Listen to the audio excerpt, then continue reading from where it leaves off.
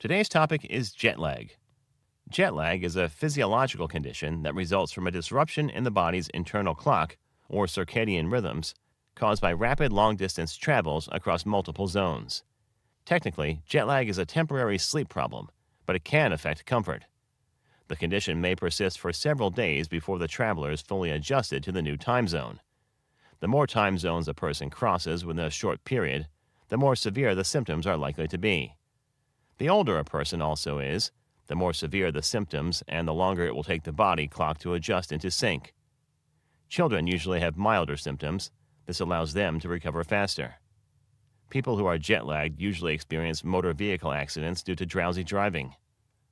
Causes Our body has its own internal clock, or circadian rhythms, that regulates daily activities, such as when to sleep and when to stay awake, eating, and body temperature regulation.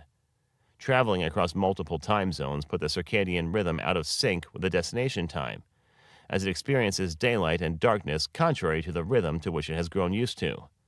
As the body struggles to cope with this new schedule, the sleep wake cycle, along with other body functions such as bowel habits and hunger, may become affected. Sunlight is a key influence on the internal clock. This is because the regulation of melatonin, a hormone that helps synchronize cells throughout the body, is influenced by light. Certain factors that may put you at a higher risk include the number of time zones crossed, flying east. Traveling eastward reduces hours from our days, giving our body less time to adjust and sync up. For example, a traveler going from Washington, D.C. to Mecca loses eight hours.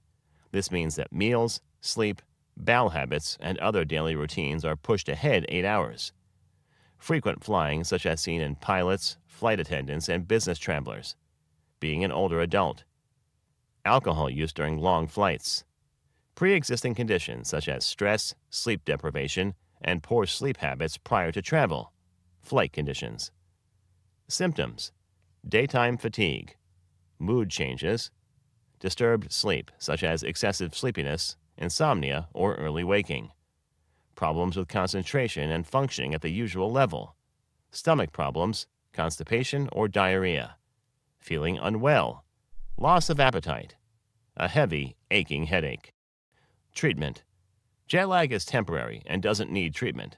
Symptoms usually improve within a few days, though they may take longer.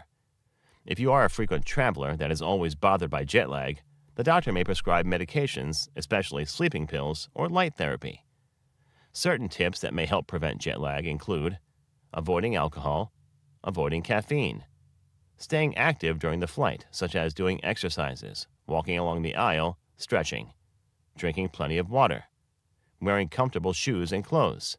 Choosing flights that arrive in the early evening at your destination. Breaking up your trips if you are traveling across 8, 10, or even 12 time zones. On arrival, staying away from heavy meals or strenuous exercise.